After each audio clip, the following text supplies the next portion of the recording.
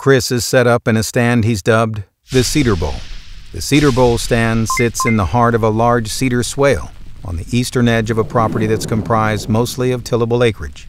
The Cedar Bowl is anchored by a thick timber stand that acts as a sanctuary for resident whitetails. Big bucks and hot does have been seen leaving the sanctuary at dusk to head into a massive cut cornfield to the east. Chris parks on the northeast corner and only hunts the Cedar Bowl with a south southwest wind.